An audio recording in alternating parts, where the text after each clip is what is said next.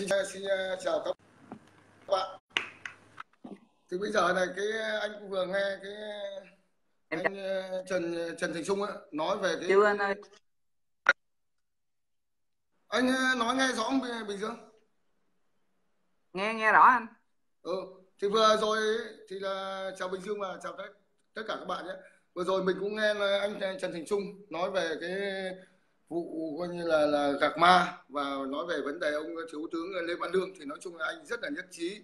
với lại ông ờ, với anh Trần Thành Trung nói về cái cái ờ, ông thiếu tướng anh hùng lực lượng vũ trang ờ, Lê Văn Lương. Thì ngày hôm qua thì anh nói chung là anh rất là gay gắt với chuyện mà thiếu tướng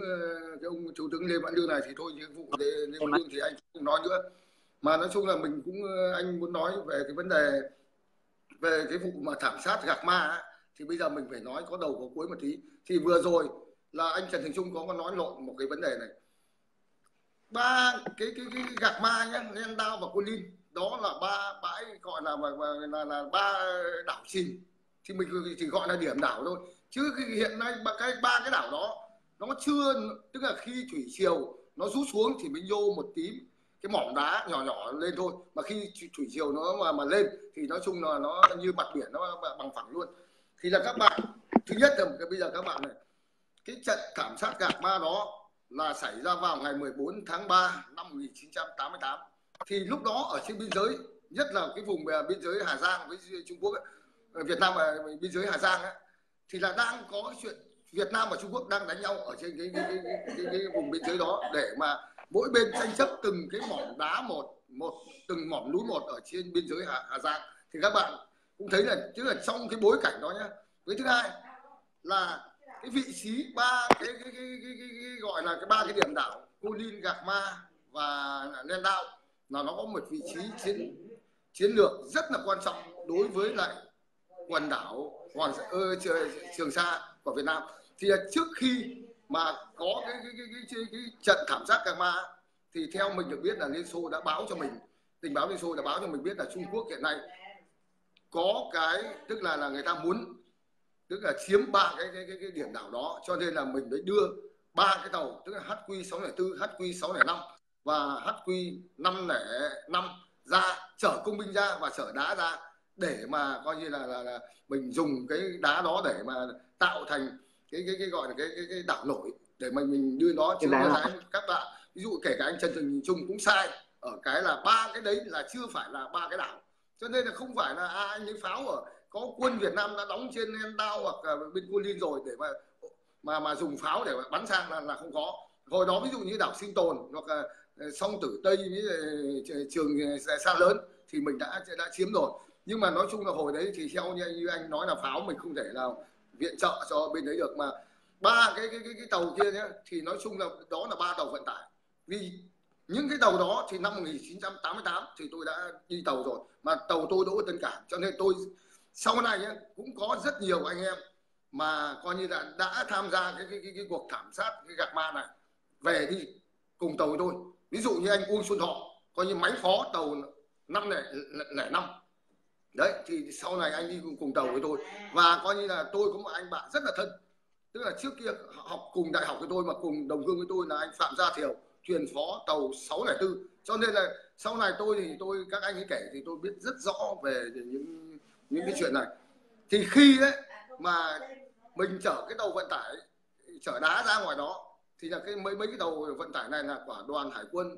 là một trong uh, ờ, lữ đoàn hải quân 125 thì ra ngoài đó chở công binh mới chở đá ngoài đó thì công binh mình mới đưa đá ra ra mà đắp cái đấy. Thì trên ba tàu vận tải này thì xin nói với các bạn là không có cái, cái, cái, cái chỉ có cái cái, cái, cái, cái súng cá nhân ví dụ AK hoặc K54 tất cả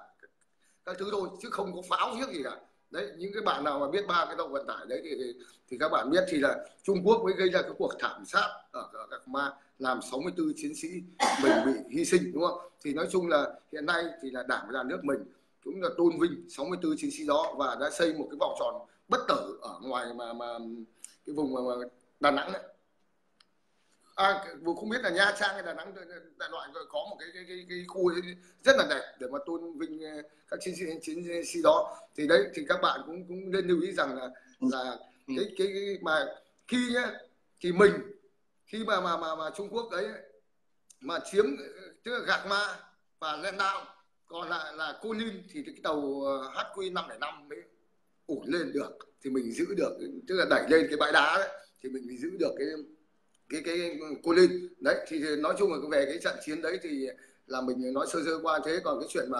mà gọi là lê mã lương ấy, thì nói chung là đó là một tên mình phải nói thẳng đó là một cái, cái gọi là cái một cái tên gọi là xét lại. Vì là nhiều khi con người ta mà thấy à cái công lao mình là anh hưởng anh hùng lực lượng vũ trang thế nọ thế kia nhưng mà sau này mình chỉ được làm giám đốc cái cái cái viện bảo tàng quân đội ở ngoài ngoài Hà Nội ấy, thì nói chung là có khả năng hắn ta bất mãn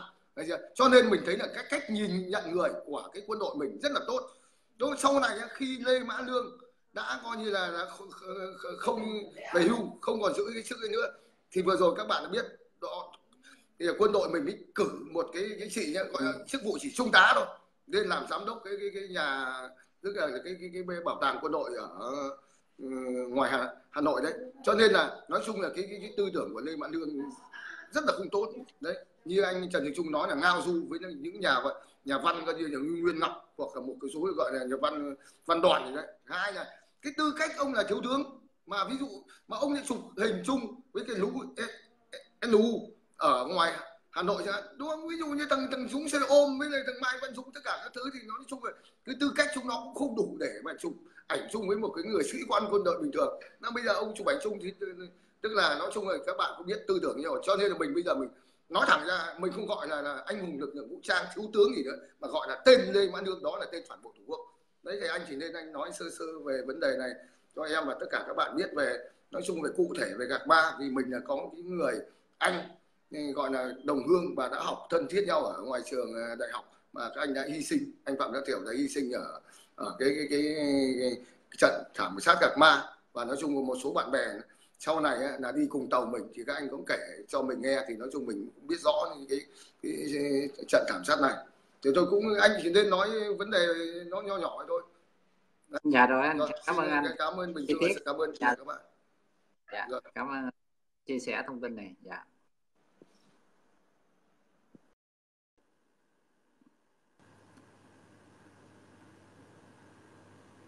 à, rồi để em mời là anh Trần Thành Trung Lưu Ly chờ chút xíu để anh gọi sau nha Lưu Ly để anh Trần Thành Trung lên nói một chút nữa